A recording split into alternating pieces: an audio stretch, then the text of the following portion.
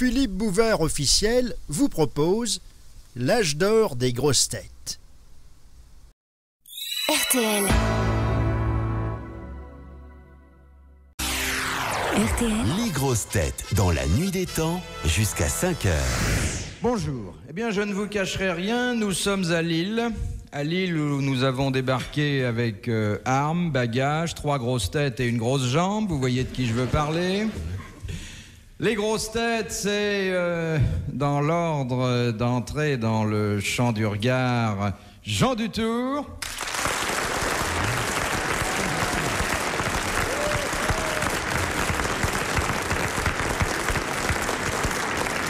Jean Dutour qui se trouve aujourd'hui comme euh, sans doute euh, jamais merveilleusement à sa place dans la mesure où nous sommes hébergés exceptionnellement dans la maison de l'éducation permanente. hein.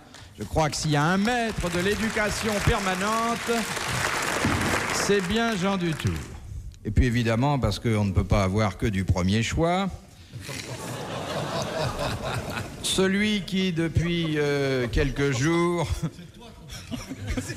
je laisse un doute, je laisse volontairement un doute planer pendant quelques instants. Celui qui, après s'être fait un nom sur l'océan, se fait un nom sur le plancher des vaches, et d'une façon inhabituelle dans la mesure où il a été élu à l'unanimité l'autre jour, président du club des flagorneurs. Je veux parler d'Olivier de Kersauzon.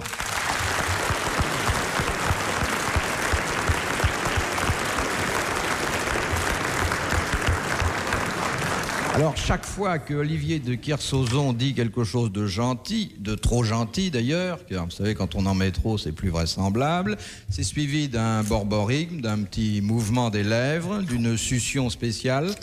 Voilà.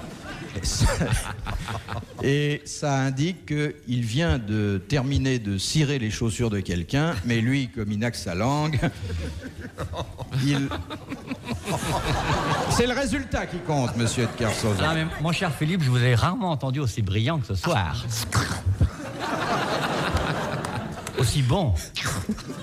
Aussi beau. L'île vous va bien. Personne ne, Bon. ne verra que vous revenez de Belgique. Euh, Vous êtes normal. Et on dirait même qu'il a grandi. écoutez, gardez-en un peu pour tout à l'heure. Ah, dans notre non, cœur, il y c'est en aura, il y aura. D'autant que je n'ai pas fini de poser l'affiche sur le mur. Et quelle affiche? Nous avons vraiment euh, vidé Paris de toute sa substance, puisque je peux vous présenter en exclusivité, je suis le seul tourneur français dans ce cas-là actuellement, André Gaillard.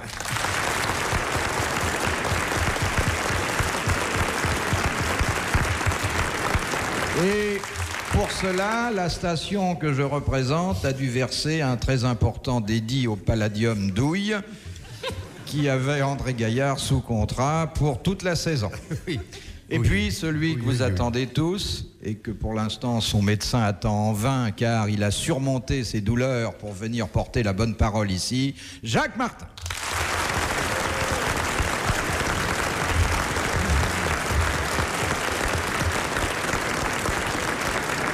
Brillante équipe, monsieur de Kersauzon, non? Oh oui, maître. Ah, L'avantage avec vous, c'est que vous êtes si petit qu'on n'a pas besoin de vous tenir en lèche.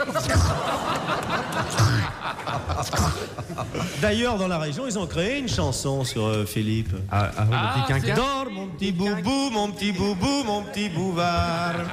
Si tu fais pas dodo, tu pourras pas écrire ton canard. De Madame Delacroix d'Ivry-sur-Seine. Quelle est la seule église chrétienne qui n'accueille ni transept, ni bas-côté, ni clocher, ni croix? Orly. Il n'y a pas de transept, il n'y a pas de bas-côté, il n'y a pas de clocher et il n'y a pas de croix. Est-ce qu'il ne s'agirait pas de l'église souterraine de Lourdes? Non, Saint-Pierre de Rome. non, et ça n'est pas une église moderne. Le Sacré-Cœur. Non, Elle est en Italie, cette église-là En France en France. C'est une, En une France, église, c'est pas une ça. cathédrale. hein. C'est une église. Elle est dans Paris Et vous la connaissez, elle est dans Paris. La Madeleine La Madeleine. Bonne réponse de Jacques Martin. Moi, je connais bien la Madeleine parce que. Autour. Parce qu'autour, il y a. il y a- Enfin, disons qu'il y a des jeunes filles très sympas qui attendent très tard l'autobus. euh, et ce sont des rues, bah, vous les connaissez aussi, Philippe, puisqu'on s'y est croisés. Voilà des, jeunes, voilà des jeunes filles sympathiques. On peut passer dans ces rues, on sera jamais attaqué. Il y a toujours du monde. hein. On n'est pas attaqué par une femme qui se défend. Non. Et puis- Sympathique, vous avez froid, montez Oui. dans ma chambre. Et- Bah, ça, c'est des Et copines. c'est là, vous voyez, que, mon cher Jacques, Déshabille-toi, enlève ton portefeuille, tu vas, mets-toi à l'aise. c'est là qu'on voit que le fameux fossé entre les générations n'existe pas. N'existe pas, exactement. Attendez, un, un moment, j'entends chanter Sylvie Vartan. C'est... Oui, ma chérie. Mais est-ce que ça n'est pas un tableau euh, Ne pleure pas, mais il est pas méchant, le petit à la chemise rose. ne pleure pas. Voyez, voyez l'inconvénient d'une des femmes. Voyez ce qui va vous arriver à l'Académie française avec Ursonard. Il y a du a des nouvelles de moi. avec sa jupe culotte. J'y avais pensé. Nous en sommes à la lettre D. Yeah, yeah. Voilà ce qui nous attend. Avec Marguerite. J'y avais pensé, monsieur Martin. C'est pour ça que j'étais pas tellement favorable. Mais je pense pas qu'elle vienne jamais aux séances du dictionnaire avec un bébé, c'est pas son genre, hein Non, mais elle-même est restée très enfant. Ah, Vous croyez que tout bout de champ, elle fait. Ah Bah, il y a qu'à lire ses livres. À toutes les pages, il y a. C'est vrai ce qu'il dit là. C'est un très bon critique littéraire. De Monsieur Jarmouni, de Bilzen, De qui? De Bilzen en Belgique. Ah, Il très bien. Klosterstraat, Ah à Bilzen. Et il s'appelle Slim Jamouni. Eh ben oui. Eh ben.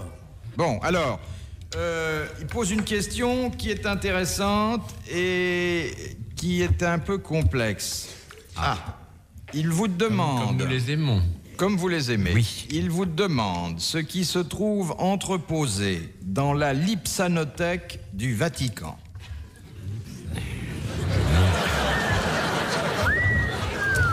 Souvenez quand vous êtes à Saint-Pierre, À droite en entrant. Ouais. quatrième garde suisse, le corridor. Est-ce que ce n'est pas C'est pas les le, le morceau de toile sur lequel euh, est représentée la Sainte Face? Non. Alors, je vous rappelle que la Lipsanothèque est une salle qui a presque les proportions de celle où nous nous trouvons Ne aujourd'hui. serait-ce C'est pas pas le- les cadeaux c'est offerts pas le- au pape. Non. Le Saint Fresque Prépuce. de Michel-Ange Le Saint Prépuce, dites-vous.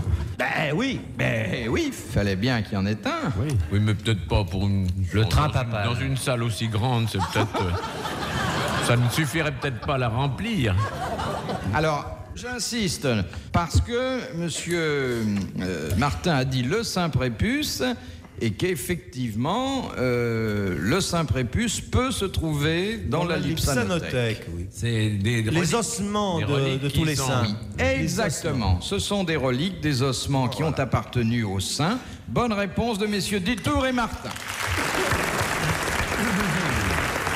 Et paraît-il, c'est d'une euh, très grande variété, d'une prodigieuse richesse. Oh, c'est formidable. Il y a un peu de tout, vous savez, euh, parce que finalement, les, les- les reliques appartiennent à tous les endroits du corps. hein. Bien sûr, mais n'est-ce pas là, n'est-ce pas dans cette pièce même que le maréchal MacMahon est entré et s'est exclamé Que d'eau, que d'os Eh oui, c'est là, c'est là.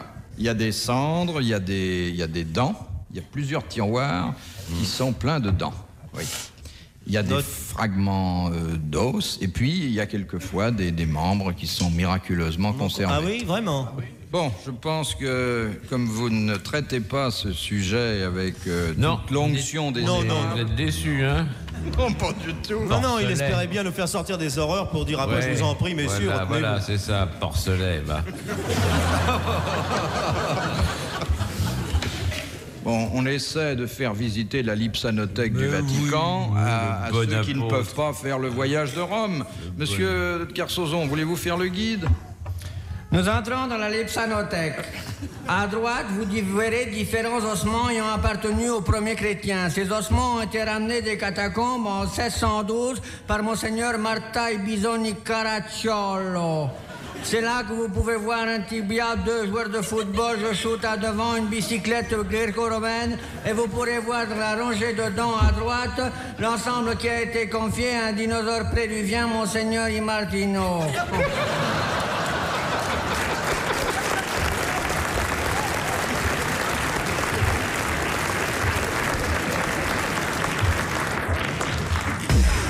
RTL. Dans la nuit des temps. Les grosses têtes de Philippe Bouvard. Jusqu'à 5 heures.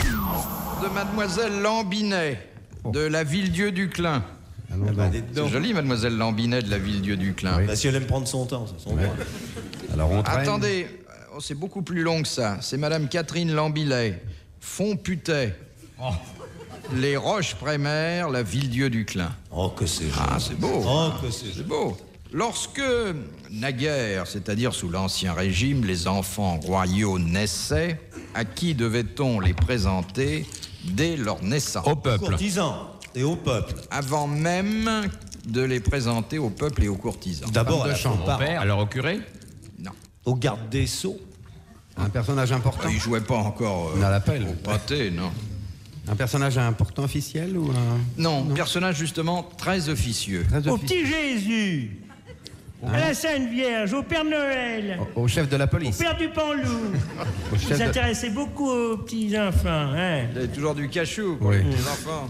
Euh, Joséphine Nathalie, sa Françoise Materna. Un personnage, vous dites Oui, officieux, mais Officieux. souvent tout puissant de la cour. Le Au confesseur confesseur du roi. Non. Au premier valet de chambre. Au grand saucier. Un porte-personnage Au porte-pot important de la royal. cour. Pas, pas un chef de la police, non? À sa nourrice, peut-être. Au médecin du roi. Non. À l'évêque de Reims. Au bourreau de Béthune. Un personnage important, quoique effacé. Pas effacé, effacé, euh, mais enfin officieux en tout cas. Monsieur Rose, peut-être. Non. Qui était le Au secrétaire. valet de chambre? À la nourrice? Non. Au confesseur, je l'ai déjà dit, mais vous avez peut-être pas entendu. L'oreille en meilleur état avec votre jambe, monsieur. Mon Martin. cher ami, quand on se garnit la bouche de bêtises de Cambrai, on risque peut-être d'avoir les oreilles bouchées. Je l'ai déjà dit avant-hier à la télé. Au capitaine des levrettes. À la petite cochonne de service dans la chambre. À la courtisane. On se rapproche. À la courtisane. Ah bah Dieu, c'est À la maîtresse du roi. À la maîtresse du roi, bonne réponse d'André Gaillard. J'ai dit à la courtisane. hein. À la fa- Si j'avais dit à la favorite. Ah oui, d'accord, mais la courtisane, bon, c'est du ça, personnel intérimaire, tandis que... Mais la favorite, c'est elle qui se farcit les mauvais jours. Mais alors, écoutez, Parce que, vous savez, quand on avait enlevé le bandage, Louis XIV, Permettez, monsieur ça partait de partout. C'est vrai Ah, Louis XIV, on enlevait la perruque, un flanc à la vanille dans un réfrigérateur en panne. Ah, il s'écroule, il était mou, il avait pas d'os. Il gardait la nuit dans une casserole. C'est bien ça. Mais tous les rois étaient comme ça. Louis XVI, il a englué la guillotine, ils sont obligés de nettoyer le couteau. Vous avez connu Louis XVI, monsieur de Kersauzon? Euh, je l'ai connu à l'atelier. J'ai écrit dans mon livre euh, Louis XVI et la serrure. Euh, le petit Louis est penché sur l'établi. Ses mains sont grasses. De temps à autre, la lime, par son va-et-vient permanent, rappelle qu'il peut être lui aussi un roi. Son regard se pose sur la serrure pour essayer de le voir à travers elle. Euh, puis ça continue comme ça. C'est un bouquin qui n'a pas été vendu. hein.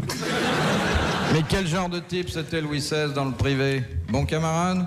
Non, pas tellement. C'était un garçon euh, qui mentait et qui se coupait beaucoup dans ses mensonges.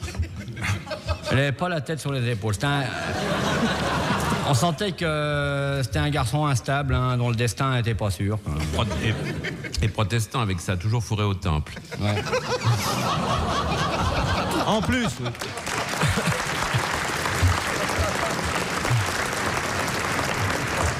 Eh bien, la question suivante de Madame Vincent d'Épinal dans les Vosges est une question qui a trait à l'attitude des protestants. Pourquoi, et encore aujourd'hui, de nombreux protestants refusent-ils de visiter l'église de Saint-Germain-l'Auxerrois? Parce que c'est de Saint-Germain-l'Auxerrois qu'est part partie la fameuse nuit où il devait périr Oui. exterminé. Exactement, mais comment est-elle partie? Par par les cloches qui se sont mis à Par sonner. les cloches Très bonne euh, réponse de Jacques Martin.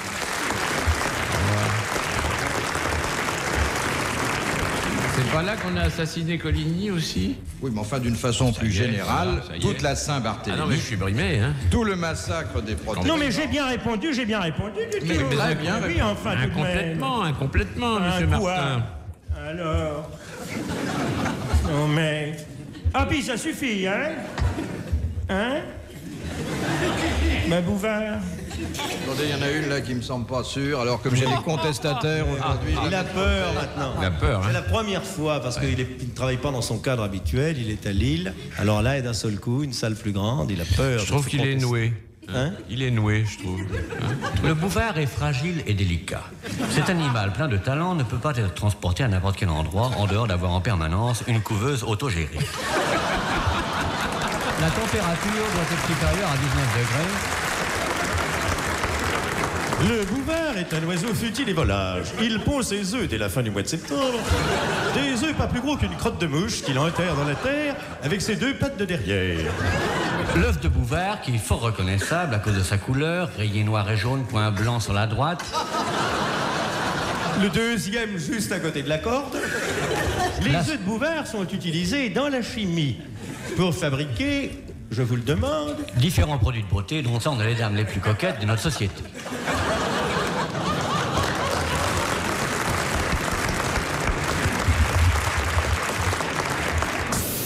Dans la nuit des temps des grosses têtes RTL, jusqu'à 5 heures.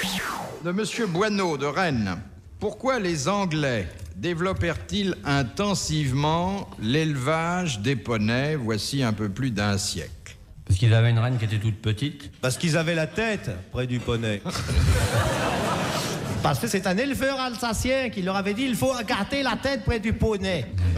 Non, c'est pas historique. Vous qui parlez admirablement euh, l'anglais, Monsieur de Kersauzon. Vous voulez dire la langue de Shakespeare Oui, oui, oui.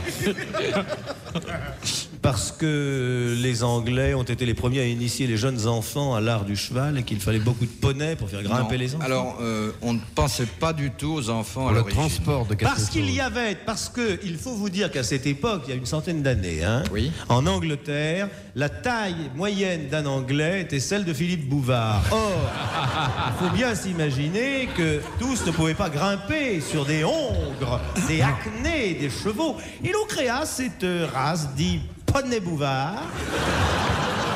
C'est-à-dire des, montures qui étaient réservées aux enfants et qu'on appelait des acnés juvéniles. Des acnés juvéniles, très exactement. C'est- Ça marchait avec des boutons. Non, c'est parce que. Mais le poney ne signifie pas petit cheval en anglais. C'est une race. C'est parce que à l'époque en France, on disait enrichissez-vous. Ils ont tra- le télégraphiste a traduit mec euh, monnaie, c'est arrivé mec poney de l'autre côté. Et c'est pour ça qu'ils ont fait des petits chevaux. Mais euh, en Angleterre ou en Écosse? Non, parce qu'en Écosse, comme ils sont radins, ils auraient pu faire des petits C'est chevaux. ça, oui. Et- oui, les brossaient trop. C'était des poneys à poil, d'ailleurs. Était-ce pour l'armée? Non. On s'en servait pour quelque chose de spécial des C'était- poneys? Était-ce pour, pour tirer les bugs? Non, bien sûr, c'était pour, Pour la utiliser montagne. les poneys dans les mines. Dans les oui, mines. voilà. C'était exactement pour tirer les chariots dans les mines. Excellente réponse de Monsieur Jacques Martin. Et la preuve, s'il en était besoin, que le cerveau n'est pas atteint, bien au contraire. Merci, Philippe. De... De... De... Deux. Si la- de- Trois. de Monsieur Prévost de Vigneux dans l'Essonne. Pourquoi Zacharie devint-il muet et à quelle occasion retrouva-t-il la parole? Il est dans l'Ancien ou dans le Nouveau Testament? Non, Zacharie, il était, c'est ce qui le- remplaçait le sucre Le pendant sucre. la guerre. Oui, oui. Ouais, ouais. Et alors il a perdu la parole perdu la parole. devant un événement qui lui a fait grand-peur. Ça a été plutôt euh, une sanction divine parce que le Seigneur n'avait pas app- apprécié son comportement dans un cas précis. Et plus tard, cette parole lui est revenue à l'occasion d'un autre événement précis. Est-ce que Zacharie aurait pas fait quelque chose qu'il faut pas faire avec, Ah. une, avec une dame? Non. C'est un prophète, Zacharie, en plus. Ah oui. Non, pas celui-là. Ah, pas celui-là. La, la, la, la. Pouvez-vous le situer un peu Oui. euh, Je vois pas. Milieu social, contexte, origine, numéro de Oui. sécu. Il était, il était, euh, oui. il n'y a pas de problème. Au départ, il était confectionneur. Mais après, Après, quand il est descendu de la rue du Sentier, Il a rencontré quelqu'un qui lui a dit quelque chose qu'il n'a pas cru. Je peux pas aller plus loin. Ah oui. Ah, bah oui. Un ange Il a rencontré un ange. qui lui a dit Zacharie. Quel ange? Gabriel. Gabriel, c'est Toujours le seul celui-là. qui était c'est toujours, c'est celui qui était chargé de tout. Il arrivait dans la cuisine, il faisait dans huit mois un bébé, hop, il partait. Bonjour madame, au revoir madame, c'est parti. Alors, justement, Gabriel un jour entre dans la cuisine de Zacharie. Ah Qu'est-ce qu'il lui dit? Eh ben, il entre et il lui dit Ta sœur ou ta cousine va mettre au monde un enfant qui sera roi des Juifs. Bon, pas ta sœur ou ta cousine. Ou ta femme. Ta femme. Ta femme. Bon. Et lui, il fait euh, Ça va pas, et moineau Très bonne réponse de Jacques Martin.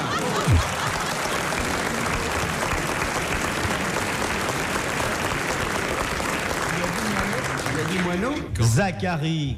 Ce serait le le, mari, ça C'est- peut pas être le mari c'est de pas la le Sainte Vierge, puisqu'elle avait épousé un menuisier qui s'appelait Joseph. C'était Élisabeth, la femme de Zacharie. Oui, Élisabeth, c'était la cousine de la Vierge Marie. À qui on promettait également un enfant euh, oui, dans les c'était mêmes pas très conditions. clair, hein, parce que là, c'est ce qu'on appelle l'annonciation, nous les protestants. Mais je vous rappelle quand même que finalement, Zacharie a été le père, en tout cas il l'a reconnu, de Jean-Baptiste. Ah, c'était le père de Saint Jean-Baptiste, mais Bon. le père de l'autre, euh, c'est Joseph, Non. enfin presque. Alors, voilà donc Zacharie qui est puni par le ciel et qui perd la Hum. possibilité de s'exprimer. En quelle occasion précise la retrouve-t-il? Aux objets trouvés, euh, deux mois plus tard, le jour où Saint Jean-Baptiste a été circoncis. Le jour où Saint Jean-Baptiste a été circoncis. Bonne réponse de Jacques Martin.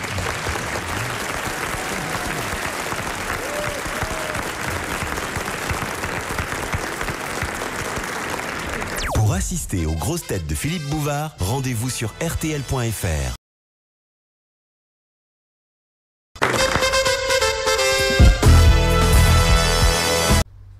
Philippe Bouvard officiel vous remercie de votre fidélité et vous invite à vous